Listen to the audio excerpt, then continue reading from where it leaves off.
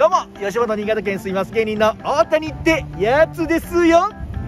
ただいま新潟駅前にやってまいりました。あ今回はですね、えー、まあ、新潟に遊びに来てくれた方や、まあ、帰る時にもおすすめしたいおにぎりを紹介したいと思いますってやつですよ。それでは中に行きましょう。はいというわけで、えー、到着しました。新潟駅の中にありますこちらのお店でございます。本酒館コンプレックスというお店の中にあるおにぎり屋さん。そこにですね新潟ならではのおすすめのおにぎりありますんで早速行きたいと思ってやつですよ。こちらでございますけども。爆弾おにぎり。こちらなんですけども。南魚沼のね塩沢さんのコシヒカリ。これも九太郎さんのね出身地でございます美味しいコシヒカリを使ったおにぎりでございますので早速すいません。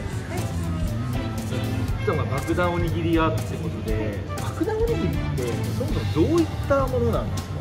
爆弾おにぎりはこの1個1号サイズのおにぎりになります。1号？はい1号です。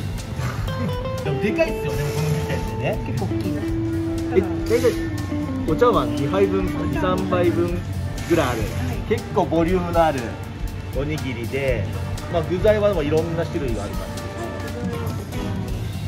あ結構種類があるんですよ。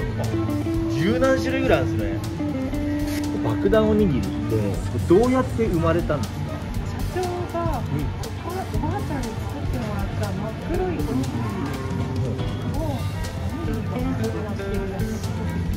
ま、真っ黒いおにぎりってのの海苔で海苔で包んだあこうでっかいおにぎりが好きでそれで始めちゃおうって感じですか？そういうきっかけなんですね。普通のおにぎりもあったりするんですか？普通サイズの。はいはい。あ美味しそう。美味しそう。いや比べてもすごいでかいの分かりますね。さらになんか大きいのとかあったりするんですか？こ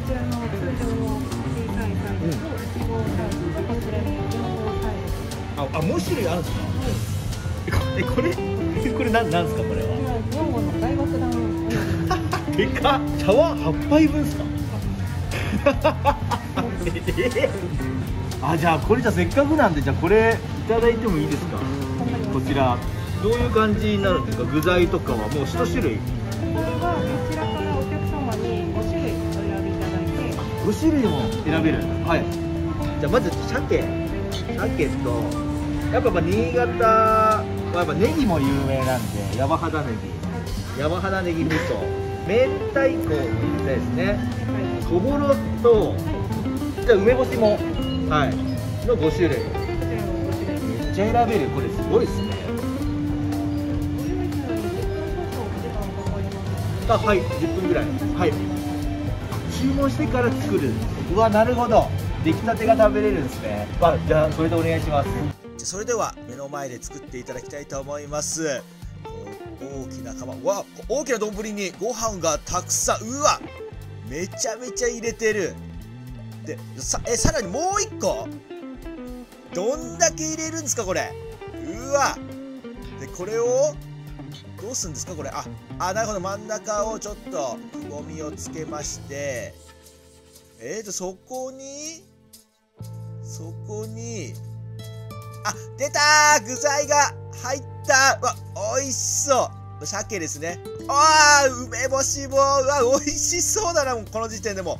これを、え、え、かされた。えー、なになにえ、かされどうなの？うおーすごい。で、塩かけて、あ、なるほど、もう。いやもうこれ、これでも美味しそうだな、これ。で、ラップの上に転がした。これをラップで包んで、いやもう相当な大きさですよ、これ。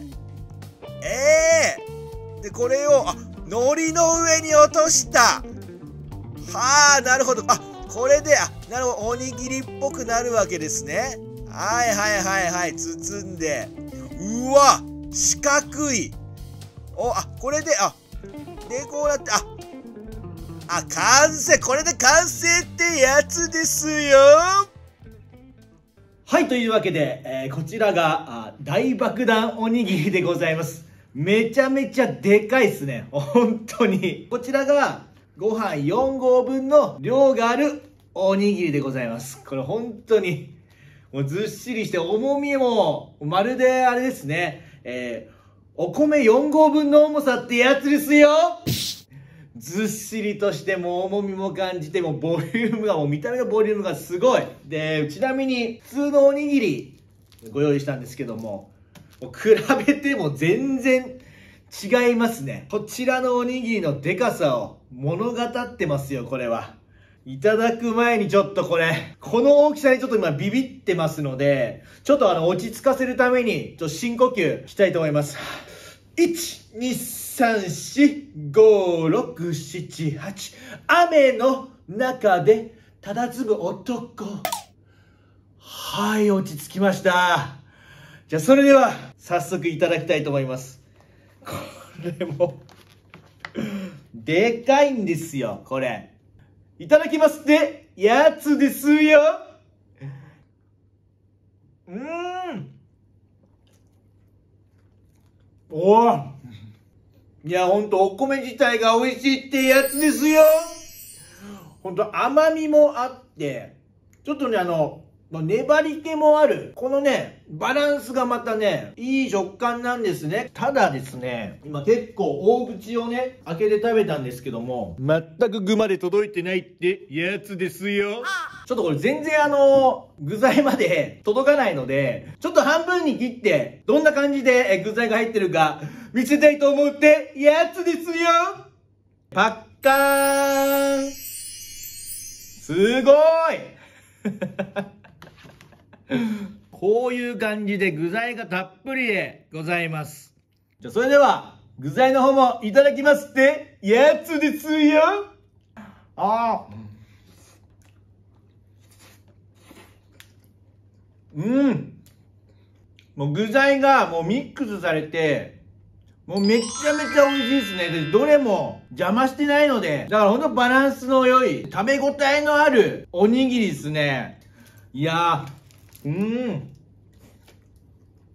あ酸っぱいってやつですよあ梅干しだこれじゃほんとこれ贅沢食いですよねこの一気にこの具材を5種類一度に食べれることってなかなかないですからね。いや、この本当に大爆弾おにぎりだからこそできる。はい、というわけでですね、まあ今回の、まあ、爆弾おにぎりをご紹介しましたけども、本当爆弾おにぎり、あの、いろんなね、サイズがございまして、スタンダードのやつと、あと、まあ1号サイズ、そしてこの4号サイズのおにぎりとありますので、こちらの新潟が詰まった美味しいおにぎり、おすすめでございますので、よろしくお願いいたします。それでは、さよなら!